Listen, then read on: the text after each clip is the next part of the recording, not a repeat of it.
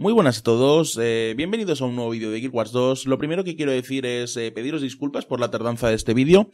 Y lo segundo, agradecer a toda la gente que se pasó por el streaming en directo, a toda la gente que apoyó con un retweet o con cualquier cosa sobre este torneo. Y la verdad es que estamos muy contentos con, digamos, con la afluencia de gente que, que nos visitó, que nos vio y sobre todo por los ocho equipos que al final eh, consiguieron participar. Eh, sin más preámbulos, eh, os eh, voy a enseñar un vídeo con los que para mí fueron los mejores momentos o los momentos que más me llamaron la atención, con un pequeño resumen, así que espero que os guste y a por ellos. Bienvenidos al CM Tournament, el eh, primer torneo español oficial después de, digamos, de que empezara la Season 5, la Season 6. Un torneo, la verdad es que a nivel eh, amateur, aunque con un equipo que, bueno, tenía un jugador de, a nivel profesional. Pero bueno, la verdad es que para ser el primer torneo, como estamos viendo aquí, teníamos un enfrentamiento directo entre Gremio del León y Shining Blood.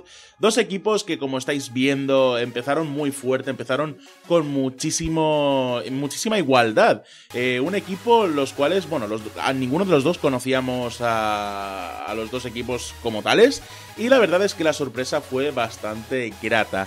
Como vemos, la, toda la partida iba eh, muy igualada, ningún equipo conseguía mm, ponerse por delante del marcador de forma contundente, y quizá los objetivos secundarios eran los que iban a marcar esta partida. Vemos como el equipo de Gremio del León sí que se eh, mantenía un poquito más firme en cuanto a control de mapas, pero Shining Blue no se quedaba, no se quedaba atrás y conseguía eh, los objetivos secundarios que les permitía seguir pujando por la victoria. Como vemos, aquí tenemos, por ejemplo, una de las teamfights más interesantes en las cuales eh, Uzain era muy importante, puesto que la puntuación se iba alejando. Y como vemos, el equipo de Shining Blood intentaba hacer Uzain. Al final eh, se hacía con él y encima conseguía doble base. Al final, eh, una partida bastante equilibrada, la cual Shining Blood se alzó con una remontada espectacular y dio lugar al 0-1 en el marcador.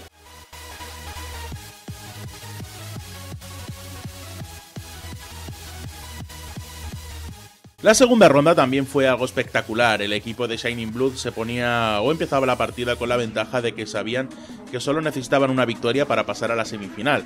El equipo de Gremio del León quizá pecó un poco de, falta de experiencia ante estas situaciones, perdón, pero aún así, eh, como estáis viendo, empezó de una forma contundente consiguiendo mucha victoria que sí que es cierto no supo mantener eh, al comienzo de la partida.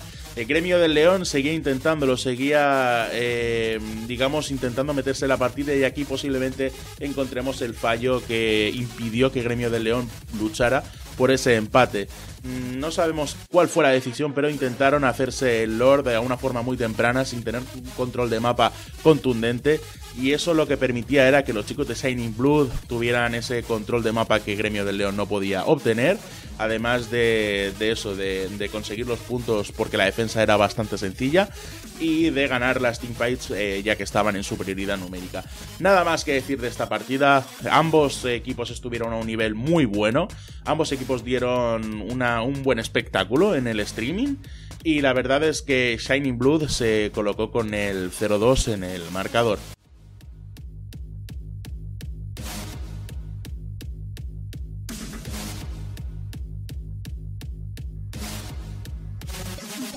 Pasábamos a la siguiente partida, GG contra Fatal Fantasy, una final anticipada, lo que muchos eh, decían que era una final anticipada.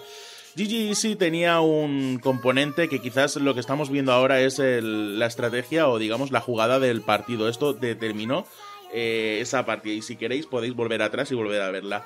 Eh, la partida comenzaba muy frenética y vamos a hacer hincapié en esa jugada. El equipo de Fatal Fantasy hacía un focus perfecto hacia Posi, el jugador profesional de este torneo, el cual eh, mm, hacía gala de su skill, de su habilidad personal y conseguía zafarse un poco de ese focus tan contundente.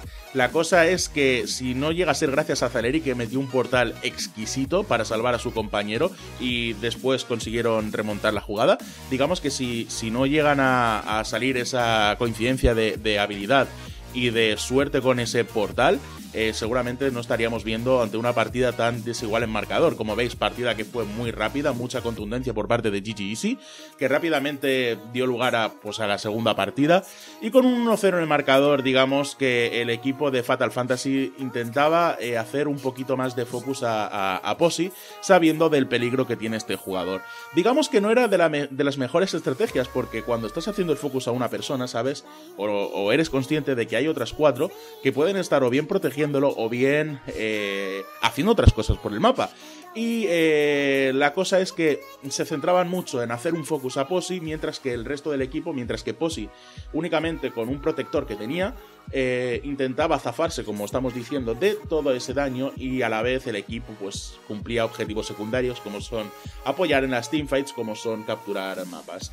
La verdad es que Fatal Fantasy lo hizo francamente bien, pero eh, la contundencia fue demoledora por parte de GG Easy y una vez que empezaron a, controlar el tema de las teamfights y el tema de, las bases que querían defender, eh, fue simplemente un, pequeño paseo para, los chicos de, GG Easy. Aunque Fatal Fantasy tuvieron esa mala suerte de encontrarse con, digamos, el equipo más potente del torneo en la primera ronda. Sin duda, Fatal Fantasy dará muchísimo que hablar porque tiene una composición de equipo muy buena. E hicieron bien las rotaciones. La mala suerte fue esa, que jugaron contra GG Easy en la primera ronda.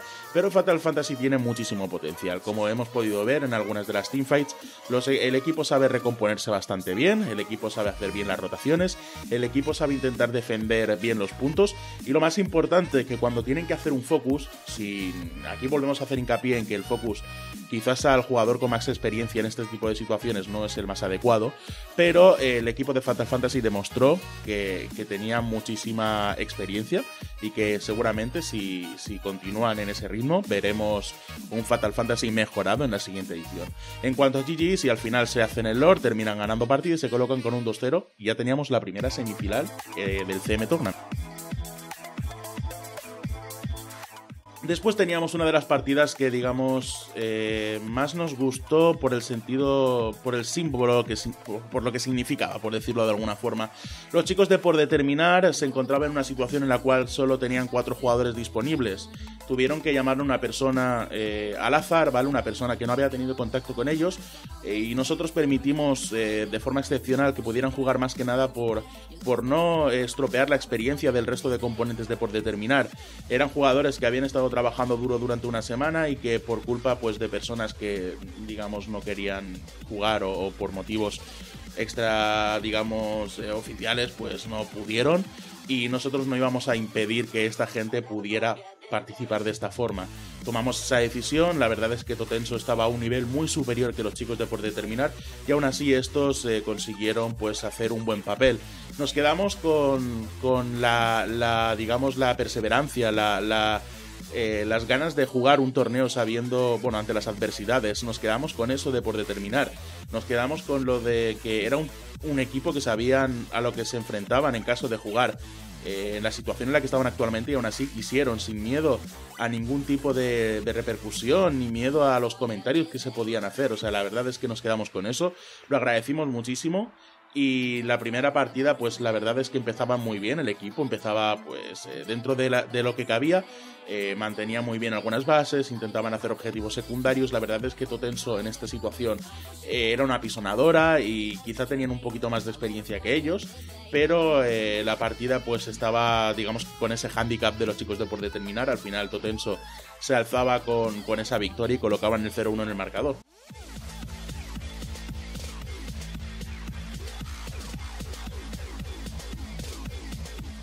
Luego aquí tenemos la segunda ronda, quizás una de las rondas que más tristeza nos causó, ya que al comienzo de esta pues nos dimos cuenta, o un poquito más avanzado, de que el equipo de por determinar, además de llevar un handicap de una persona a la cual no habían, bueno, acababan de conocer prácticamente, era la primera partida que jugaban juntos, nos encontrábamos con que esa persona se quedaba AFK en base y no quería jugar debido pues suponemos que, suponemos no, se supo por la presión social que estaba recibiendo en esa situación.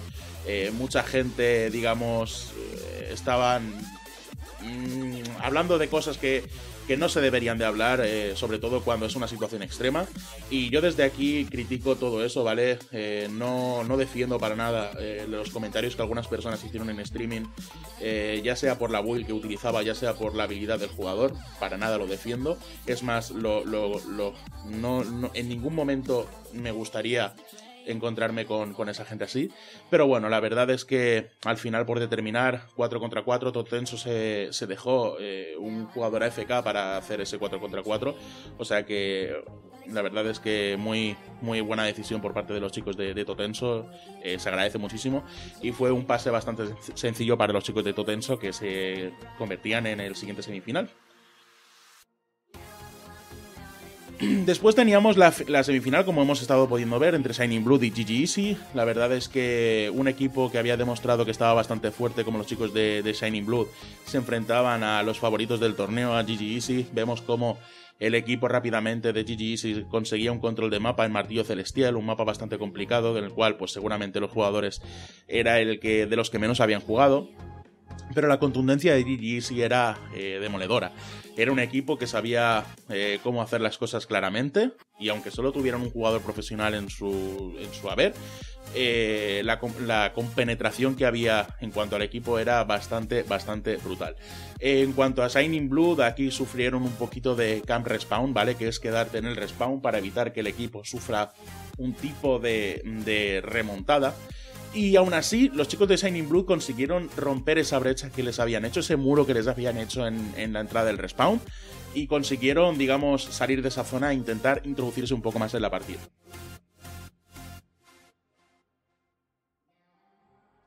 Como vemos, eh, nada era suficiente. Al final, Shining Blue caía con, contundencia. Se colocaba la primera partida para los chicos de GG Easy.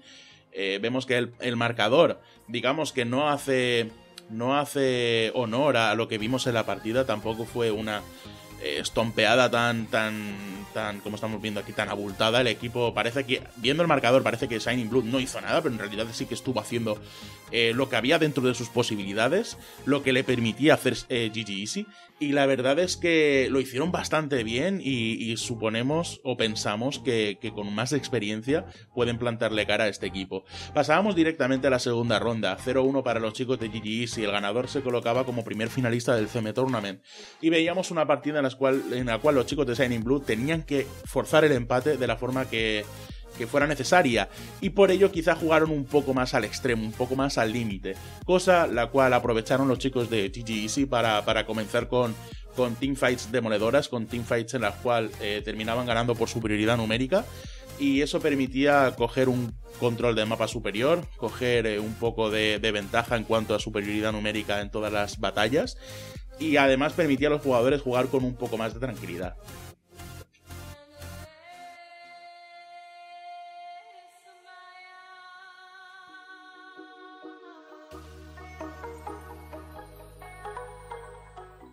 La partida iba avanzando, GG se conseguía un control de mapa, Shining Blood era, digamos, le costaba un poco el meterse en la partida, el, el hecho de, intentar eh, coger un poquito de control de mapa, no conseguía eh, hacer teamfights eh, esto es muy importante, no conseguía hacer las teamfights con igualdad en, miembros de, grupo, ¿vale? Lo que hacía, lo que digamos, les perjudicó bastante era que el hecho de que todas las teamfights eran en inferioridad numérica. Y eso lo aprovechaba muy bien los chicos de GG. Si sabían que cuando eran uno más tenían muchísimas ventajas para ganar la partida, o para ganar la teamfight en este caso, y lo aprovechaban muy bien. Y eso, pues digamos que les perjudicó bastante. Y quizás a Shining Blood un regroup un regroup, eh, digamos, aunque hubieran perdido 5 segundos para hacer ese regroup, pero les habría salido bastante, bastante mejor que el hecho de, de haber muerto en cuentagotas. Con esto nos colocábamos con el primer finalista, teníamos como primer finalista a los chicos de GG Easy y nos encontrábamos ya en la final, en la semifinal eh, número 2, donde Fatal Fantasy Mundo contra Mundo, la primera, eh, digamos, interacción que tenían en el torneo, ya que su partida de grupos no se jugó porque el equipo de Mortal Fall no se presentó, la verdad, cosa que condenamos desde aquí, no nos gusta que la gente eh, se apunte pero luego no se presenta a los torneos. Pero bueno, Fatal Fantasy Mundo contra Mundo jugaba contra Totenso, Totenso había tenido un partido bastante fácil en la fase de grupos, grupos en la fase anterior y ahora tenía que demostrar que realmente podía, digamos, eh, trasladar ese potencial que había demostrado en la primera partida ante un equipo que había sido un poco inferior, y ya hemos explicado los motivos, pues ahora tenían que demostrarlo contra un equipo que realmente iba a ponerle las cosas bastante complicadas. Como vemos el partido empezó muy pero que muy emparejado. Totenso se venía un poquito arriba porque veía que, aunque Fatal Fantasy era también uno de los equipos más fuertes del torneo, Totenso sabía que les estaba plantando cara y estaban consiguiendo bastantes objetivos secundarios, como son las bases, por ejemplo, bueno, objetivo primario en este sentido. Lo único que como martillo celestial pues tiene el, martillo, tiene las bases y tiene los teamfights para conseguir objetivos, digamos que aquí el, objetivo principal son las bases, ¿vale? El objetivo secundario es el martillo. Y ellos pues lo estaban haciendo francamente bien. En cuanto a los martillos, eran, digamos, el equipo de Fatal Fantasy quienes tenían, eh, digamos, esa facilidad para a la hora de enfrentar los martillos. Y luego tenemos algo eh, que, bueno, que resaltar en esta, en esta partida. Eh, los chicos de Fatal Fantasy conseguían mm, tener superioridad en cuanto a bases, pero no conseguían alejarse en el marcador. Porque Totenso hacía una cosa que estaba bastante bien en cuanto se veía por debajo en el marcador, rápidamente intentaba ganar las teamfights, rápidamente intentaba decolorear las bases y Pingüino Peligroso era una de las, digamos, de las eh, de los jugadores que, más se resaltó en el torneo por su rápida movilidad, por su rápida, eh, digamos, toma de decisiones en cuanto a veía que tenían inferioridad numérica en cuanto a bases, ¿vale? Cuando veía que el otro equipo se ponía en superioridad en cuanto a color, y como vemos, Pingüino Peligroso pues también se movía hacia Martillo porque era muy necesario conseguir ese objetivo secundario ya que decoloreaba las bases que estuvieran del color contrario y encima pues metía bastante daño en la base, bueno, dentro de la base que permitía que al equipo defensor eh, tuviera más facilidades a la hora de, ganarla. Aún así, con, con, el martillo lanzado, el equipo de Totenso lo pasaba un poquito mal en las teamfights, por ejemplo en esta que estamos viendo aquí de medio y eso pues permitía que Fatal Fantasy siguiera en el partido. Digamos que si tuviéramos que hacer eh, en ese momento anterior del martillo uno de los... Eh, una breve de ver quién era el ganador, habríamos dicho que Totenso, porque en ese momento se encontraban fantásticamente introducidos en la partida. El problema es que Fatal Fantasy conseguía que la toma de objetivos por parte de Totenso no fuera eh, demoledora, no fuera determinante, y esto pues quizás era, era bastante importante. Aquí vemos como uno de los jugadores de Fatal Fantasy iba a hacer una visita a las sierpes. Y la verdad al final conseguía una ventaja a los chicos de Fatal Fantasy que pues que posiblemente le, le darían la partida.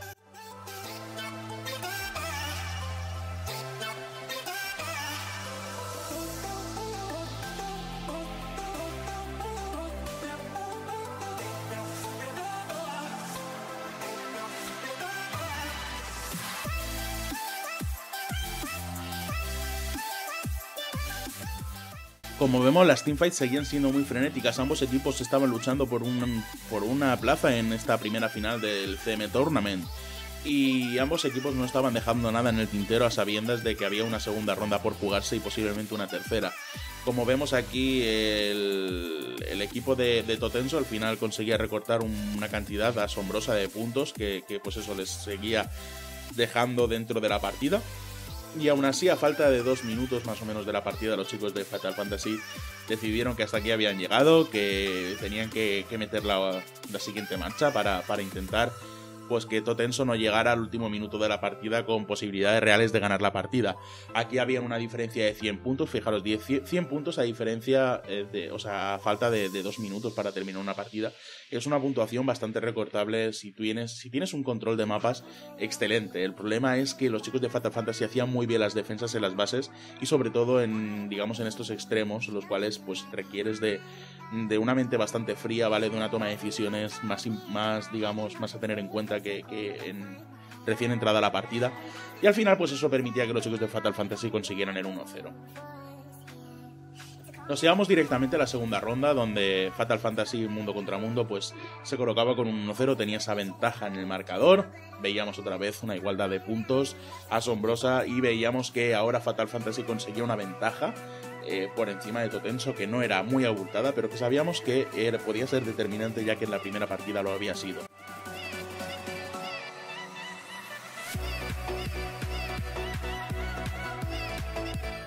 Aún así, los chicos de Fatal Fantasy mm, quizás se confiaron un poco y permitieron que Totenso se introdujera en la partida de una forma bastante abultada o de una forma bastante contundente. Los chicos de Totenso sabían que necesitaban de ese empate para tener una opción, una oportunidad de jugar esa, esa final.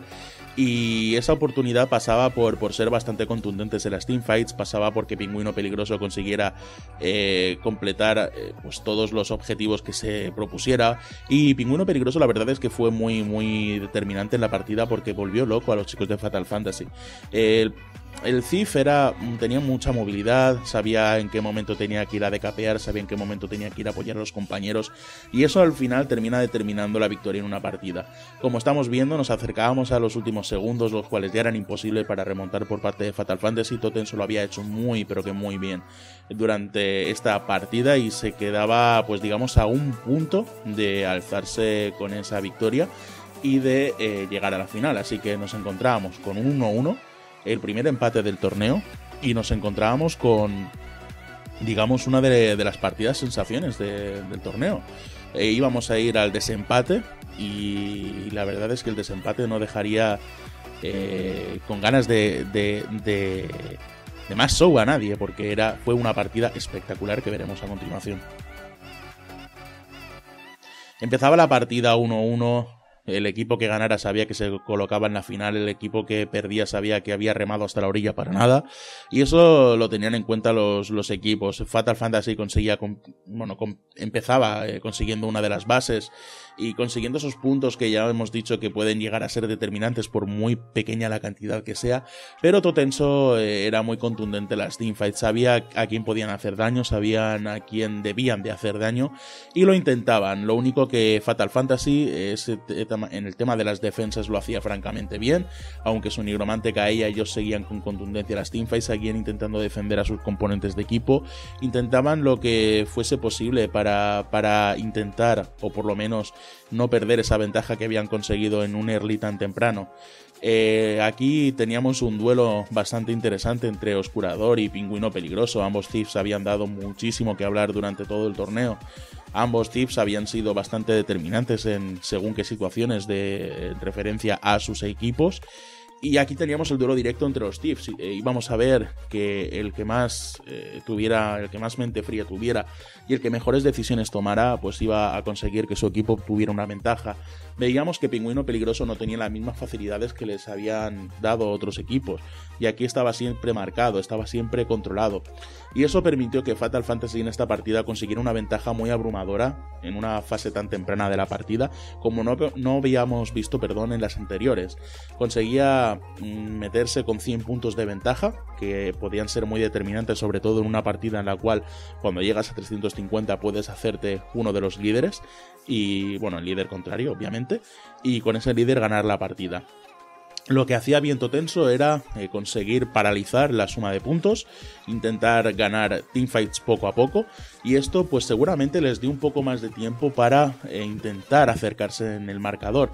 El problema que estamos viendo aquí es que los chicos de Fatal Fantasy no terminaban de ser contundentes en las teamfights, no protegían muy bien a su nigromante y este, los, este sufría la ira de todos los componentes de Totenso en cuanto tenían un focus bastante libre, pero eh, lo que sí que hay que tener en cuenta es que Fatal Fantasy en ningún momento decayó en cuanto a composición de equipo, siempre eh, tenía claro que si fallaban en un, en un objetivo, tenían que cumplir otro, que no iban haciendo locuras intentando eh, ganar teamfights imposibles y que estaban muy bien ordenados en cuanto a estrategia de equipo.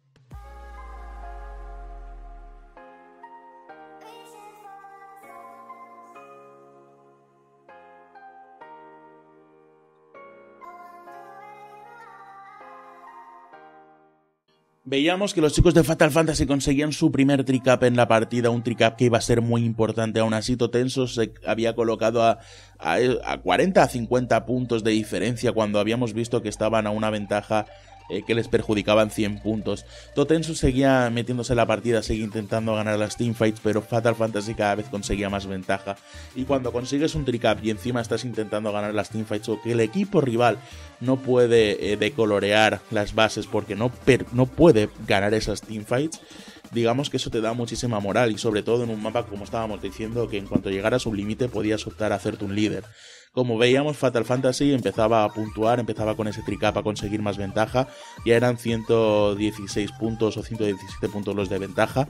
Y que les permitía pues seguir aumentando esa puntuación para en el caso de que los chicos de Totenso, que seguramente eh, podían hacerlo, podían recortar puntos, pues en el caso de que Totenso hiciera eso, ellos tuvieran un colchón eh, bastante importante para permitirse esa, digamos, pérdida de control de partida.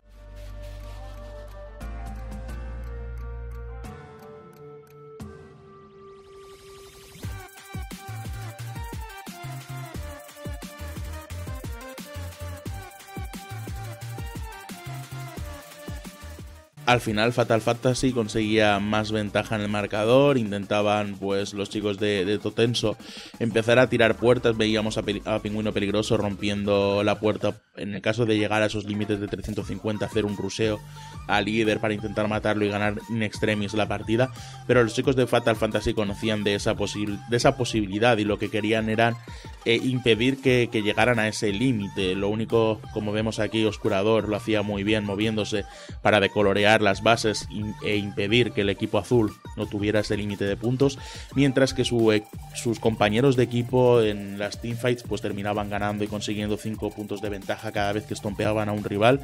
Eh, que aumentaba la puntuación, que con ese tricap que fue, digamos, demoledor para los chicos de Totenso, pues conseguían lo que necesitaban para llegar a la final.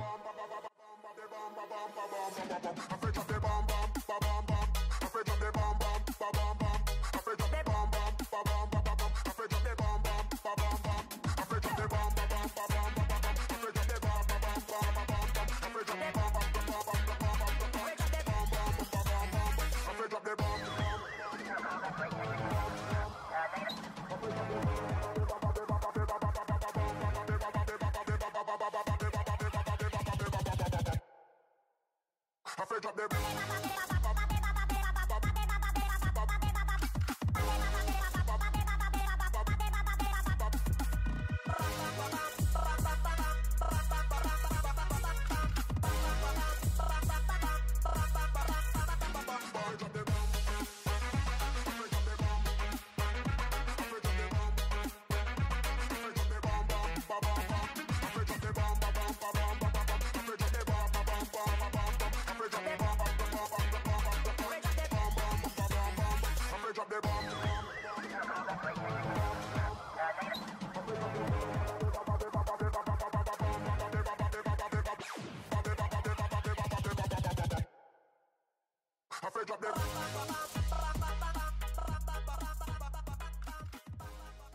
Y llegábamos finalmente a la gran final del CM Tournament, donde Fatal Fantasy había conseguido ese puesto dignamente, había conseguido esa, esa posibilidad de ganar el CM Tournament con una espectacular semifinal. GG ah, lo había tenido muchísimo más fácil a la hora de, ganar las partidas, ya que su contundencia había sido demoledora. Entonces nos encontrábamos con un equipo que era bastante equilibrado, bastante regular en cuanto al control de mapas. Que con GG sí que era un equipo demoledor, un equipo explosivo, un equipo que en cuanto conseguía un poquito de ventaja no la soltaba para nada y eso permitía a su equipo el tener ventaja en muchos aspectos de la partida veíamos cómo intentaban hacerle un focus a Posi, como Posi, el, eh, el, nigromante, quizá uno de los mejores nigromantes que ha dado este juego, se defendía eh, muy bien de esa embestida. Al final terminaban matando, como estamos viendo aquí, a Guzmi, lo que permitía pues, que no tuvieran esa cierta, ese cierto support y obligaba al equipo a replegarse si no querían, si no querían caer uno tras uno y empezar a perder la teamfight a una temprana a un tiempo tan temprano. Eh, aquí, a tener en cuenta, como estáis viendo en el marcador, eran los chicos de Fatal Fantasy los que habían encontrado un poco de ventaja en el early game de la partida. Habían conseguido una de las bases, estaban intentando eh, hacer eh, unas buenas teamfights, incluso habían matado a Posi, pero de repente el equipo de GG Easy empezó con mucha contundencia, empezó con mucho control de mapa, lo que no habían hecho en el resto de las partidas, que era el intentar defender las bases con uñas y dientes, pues lo estaban haciendo en esta, dejaban a Zaleri que se enfrentara o que defendiera las bases como eh, veíamos Zaleri con muchísima habilidad intentaba evadir pues lo que venía siendo todo el focus por parte de de los rivales. Eh, teníamos a Blackyer que defendía muy bien a su compañero, Posi también se acercaba para defenderlo. Y esto decía mucho del equipo de Fatal Fantasy, porque estaba poniendo en ciertos apuros a los chicos de GG pero quizá no fue suficiente porque fue, era, era demoledor. Y el hecho de que no consiguieran matar a Posi en muchos, en muchos aspectos de la partida era un punto a tener en cuenta, porque cuando estás haciéndole un focus entre cuatro personas a un jugador y, eres y es imposible de matar, eso te desmoraliza muchísimo. Y sobre todo cuando estás en una final y sabes que, cualquier fallo o cualquier acierto es determinante. Como veíamos, el equipo de GG se alzaba con un tricapa muy temprana, muy una situación muy temprana de la partida y no lo iba a soltar hasta estos momentos en los cuales pues podía permitírselo perfectamente. Era un marcador demasiado abultado para ser una final, pero es que el equipo de Fatal Fantasy no encontraba ese punto de suerte que quizás necesitan los equipos campeones para, matar en, en cuanto haces un focus a una persona. Y seguramente volvemos a lo mismo. La experiencia de Posi en, esto, en este tipo de situaciones, la experiencia de un jugador que está muy acostumbrado a que le focusen de diversas formas y de diversos colores, pues le permitió el tema de, defender un poquito más el hecho de tener a tres jugadores eh, haciéndole daño en una simple partida. Entonces nos encontrábamos ya en la segunda partida. GG se había conseguido el 0-1 y se le había dado bastante bien el martillo celestial como habíamos visto en la semifinal. La verdad es que esto tenían que tenerlo en cuenta los chicos de Fatal Fantasy, que empezaban de una forma eh, no tan buena como en la primera partida, porque empezaban perdiendo teamfights y encima perdiendo control de mapa. Y GG eh, tenía puesto en el, digamos, en, como objetivo el terminar la partida lo antes posible, o por lo menos eh, acelerar la puntuación del marcador para evitar eh, que Fatal Fantasy Mundo contra Mundo tuviera la oportunidad de meterse en el mapa, porque habíamos visto que este equipo, en cuanto se metía un poquito, en cuanto metía un poquito la patita para, entrar en la partida, te ponía las cosas muy complicadas. Veíamos como los, las teamfights pues terminaba ganándolas eh, los chicos de GG's y porque lo hacían francamente bien. Y encima eh, Fatal Fantasy cometía, digamos, el error de, de no tener claro qué objetivos tomar teniendo dos bases libres, se centraba mucho la teamfight en la base de medio, la cual estaba bastante bien protegida por los chicos de GG Easy. Y la verdad es que esa movilidad que podía ofrecer a lo mejor Zaleric o, incluso Kaze, que lo estaba haciendo francamente bien, eh, contrarrestaba mucho la, que estaban teniendo los chicos de, de Fatal Fantasy.